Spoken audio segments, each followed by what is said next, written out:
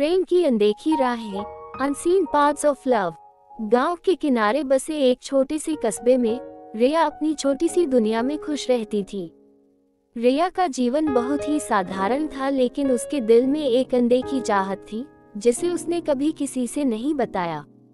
वह अक्सर अपने सपनों में एक की कल्पना करती थी, जो उसकी ज़िंदगी को रंगीन बना सके। कस्बे में एक नया चेहरा आया, राहुल। राहुल एक फोटोग्राफर था जो प्राकृतिक तस्वीरें खींचने के लिए शहर से आया था। उसकी आँखों में एक अलग ही चमक थी, जो रिया को उसकी ओर आकर्षित करती थी। एक दिन, जब रिया नदी के किनारे बैठी थी, राहुल वहाँ तस्वीरें खींच रहा था। अचानक, उसकी नज़र रिया पर पड़ी और उसने इस क्षण को अपने कैमरे में कैद कर लिया।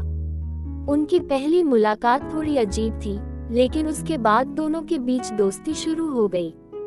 रिया और राहुल की बातचीत में एक अनोखी सहजता थी, जो उन्हें एक दूसरे के करीब ले आई।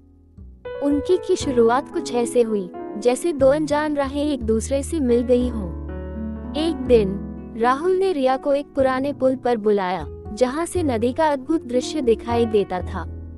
उन्होंने कहा, रिया, मैं तुम्हें इस खूबसूरत दृश्य के पीछे की कहानी बताना चाहता हूँ। रिया ने उत्सुकता से पूछा, क्या ये भी एक कहानी है? राहुल ने मुस्कुराते हुए कहा हाँ यह एक प्रेम कहानी है।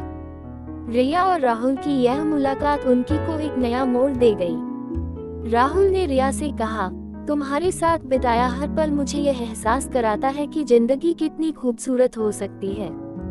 रिया का दिल धड़क उठा, लेकिन उसने अपने भावों को छुपाते हुए कहा, ये जगह सच में बहुत खूबसूरत है।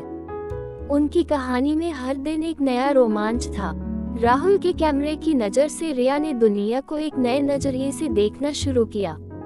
उन्होंने साथ में कई खूबसूरत जगहों की सैर की, जो उनकी को और भी खास बना देती थी। एक बार, जब वे एक घने जंगल के बीच से गुजर रहे थे, राहुल ने रिया से कहा, ये जंगल हमारी कहानी की तरह है, रहस्यमय और अद्भुत। समय के साथ, रिया और राहुल का रिश्ता गहरा होता गया। उनके बीच की केमिस्ट्री और समझ ने उनकी को और भी अद्भुत बना दिया। उन्होंने अपने जीवन को एक ऐसे सफ़र के रूप में जिया, जो प्रेम और विश्वास से भरा था। उनकी यह कहानी इस बात का प्रमाण है कि प्रेम एक यात्रा है, जो हमेशा खूबसूरत अनुभवों से भरी होती है। रिया और राहुल ने अपने रिश्ते को कभी भी एक साधारण कहानी नहीं बनने दिया, बल्कि उसे एक खूबसूरत सफ़र की तरह जिया।